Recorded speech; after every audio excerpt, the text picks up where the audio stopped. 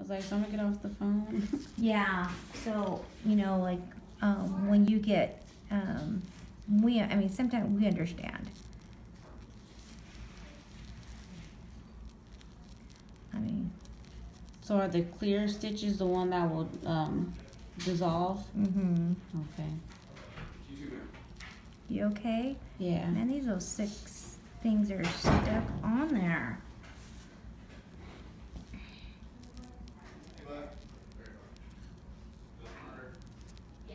I can't get this off.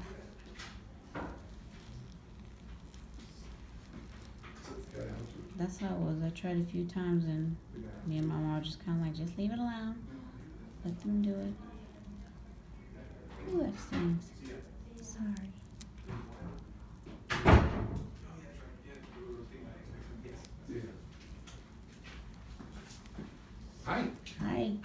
Okay. All right, we got the video working, huh? Yeah, my kids wanted to see, so Go I ahead. told them I'd record it for them.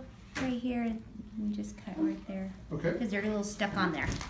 Alrighty. All Thank right. you so much. Thank you. I love the pizza socks. I know. My friend is got that for me. Excuse the ash, but they took out my sutures and gave me some more tape. I'll be in this brace for another month, but I can't return to work.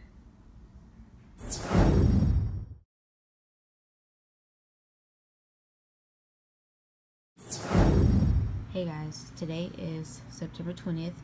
I had my follow up appointment with my doctor in Albuquerque, New Mexico. Um, he removed all of my stitches and took the old tape off, and then he put whatever this orange, this brown looking stuff is.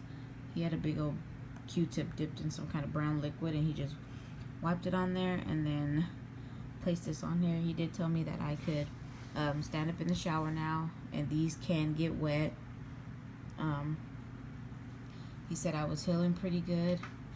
Um, he said the swelling didn't look so bad. I did ice it when I got home because um, it was kind of swollen today because I was sitting like this with my leg out in front of me. Um, the four hour trip up there and then the four hour trip back and then waiting in the lobby for the doctor to call me.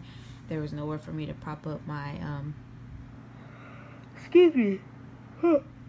Sorry. There was nowhere for me to prop up my foot, so I think like, you know, the blood just went down and caused a little swelling, but I didn't really get to look at it. And yes, I am really hairy. I had to stop shaving 10 days before my surgery, so it's already been like probably over two weeks, probably two and a half weeks since the last time I shaved. But yeah, you can't really see. I do um, want to see what you know this stuff looks like. But I did ask if he was healing. If I did ask the doctor if you know my incisions and stuff were healing good, and he said yes. You know, because that was something that we were worried about, being that I am a type one diabetic, and you know for diabetics it does take us longer to heal than other people. But he said everything was looking really good. Um, he did tell me he put his hand up like this and told me to you know lift my foot up and I just couldn't like right now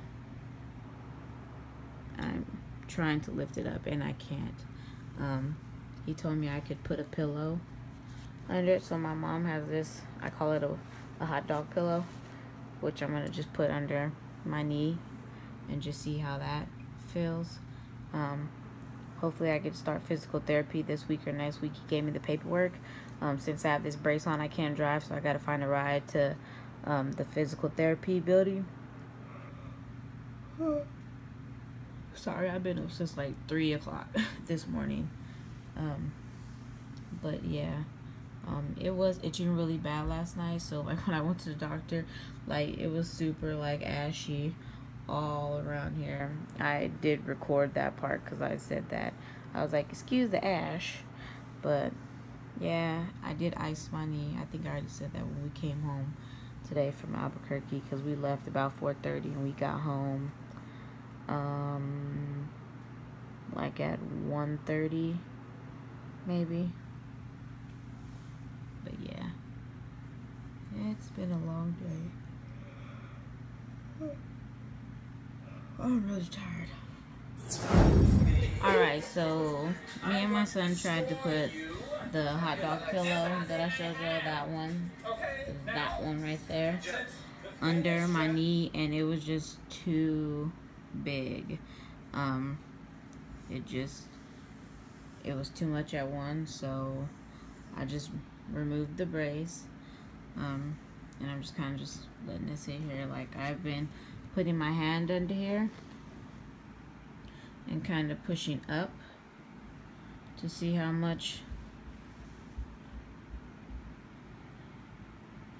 I could lift up my knee and it's not very much at all. Let's see. That's how much I it. This is it relaxed. So see, now you don't see that little gap thing, but I can't do it like without the help of my hand. And I don't know if I said this in the other video before I cut it off. Um, he did say I could sleep without the brace if I wanted to. Um, I go back to Albuquerque October 26th, which would be six days, or be six weeks and six days. And when I go, excuse me, uh, he doesn't want me to have the crutches, and he will be taking the brace. So I'll be happy for that because this is like I mean, this is really soft, some kind of foam, I guess, but it gets really hot. Like, I don't like it. Like, it's just not comfortable. And then it goes, you know, all the way from like right here all the way down to my ankle.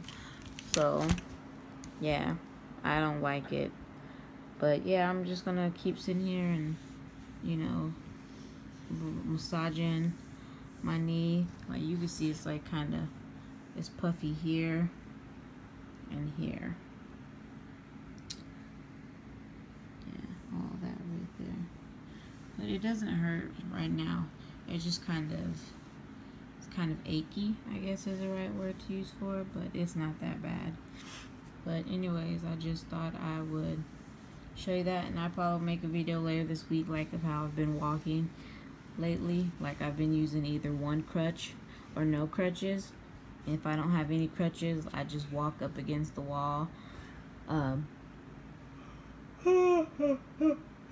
damn, sorry. Um, I walk up with one hand up against the wall, you know, to help me balance myself. Or, like I said, I just use one crutch. So, maybe I'll record that this weekend or when my kids are at school. I don't know yet, but we'll see. But anyways, I'm going to just keep massaging my leg or whatever, and I will talk to you guys later. Bye-bye.